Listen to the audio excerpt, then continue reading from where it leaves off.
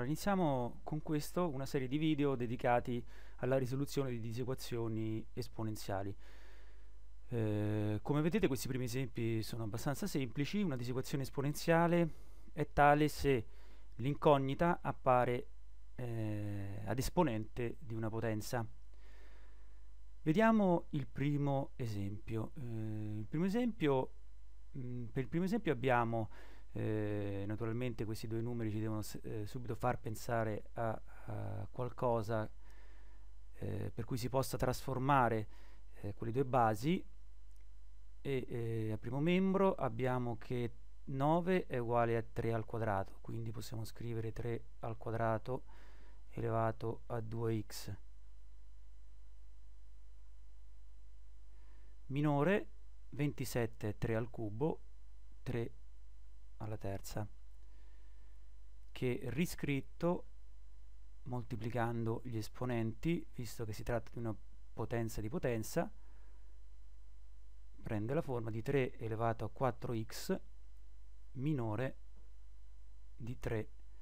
elevato a 3 a questo punto abbiamo due potenze con la stessa base e affinché la prima sia minore dell'altra è sufficiente che, che l'esponente della prima sia minore dell'esponente della seconda e quindi x minore di 3 quarti. Abbastanza semplice. Questa seconda disequazione ha eh, come basi due basi diverse eh, e non riconducibili ad una stessa base. 5 possiamo dirlo come 5 elevato ad 1 quindi l'unica cosa da fare è mm, provare ad estrarre il logaritmo da tutti e due i membri e vedere cosa succede. Usiamo come base eh, 2 e quindi il primo membro diventa logaritmo in base 2 di 2 elevato a 2x maggiore del logaritmo in base 2 di 5.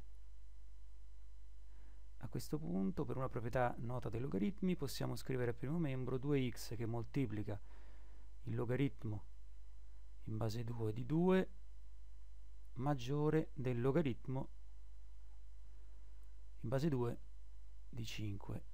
e quindi visto che il logaritmo in base 2 di 2 è 1 in definitiva x uguale è x maggiore del di un mezzo per il logaritmo in base 2 di 5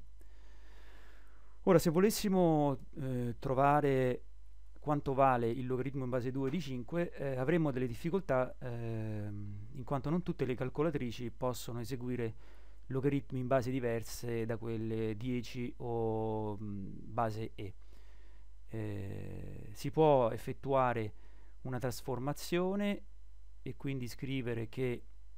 x è maggiore, trasformiamo eh, in una base mh, per esempio 10 che è disponibile come calcolo nelle normali tas calcolatrici tascabili e quindi eh, x maggiore di linea di frazione il logaritmo in base 10 di 5 fratto due volte il logaritmo in base 10 di 2 io l'ho calcolato e questo valore è circa approssimato alla terza cifra decimale 1,161 vediamo il terzo esempio. Eh, il terzo è un esponenziale con base al primo membro eh, il numero naturale e e come esponente una, un trinomio di terzo grado in cui compare anche una lettera a come parametro a secondo membro l'1 lo possiamo scrivere come e alla 0 e a questo punto visto che abbiamo eh, diciamo come base eh, di entrambi gli esponenziali lo stesso numero che è il numero naturale di Nepero e possiamo confrontare gli esponenti e affinché e elevato a x quadro meno 2ax meno x più a al quadrato più a sia maggiore di e alla 0 basta che il trinomio sia maggiore di 0 e scrivere che x al quadrato, eh, metto in evidenza, eh, raccolgo a fattor comune meno x e lo scrivo in questo modo, meno 1 per x più a al quadrato più a maggiore di 0. Ora si tratta di risolvere ehm, questa disequazione di secondo grado. Cerchiamo il delta del trinomio associato al primo membro e questo è 2a meno 1 al quadrato meno 4a al quadrato meno 4a cioè 4a al quadrato meno il doppio prodotto fra il primo e il secondo quindi scusate qui c'è un errore è un più più più.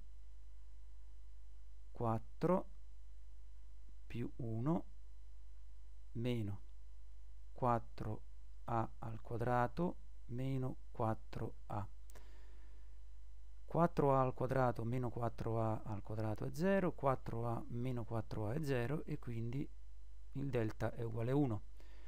le radici de, di questo trinomio sono x 1 2 uguale 2 a più 1 più meno 1 fratto 2. La prima è eh, 2a più 1 meno 1 fratto 2, quindi è a, e la seconda è 2a più 1 più 1, quindi 2a più 2 fratto 2, a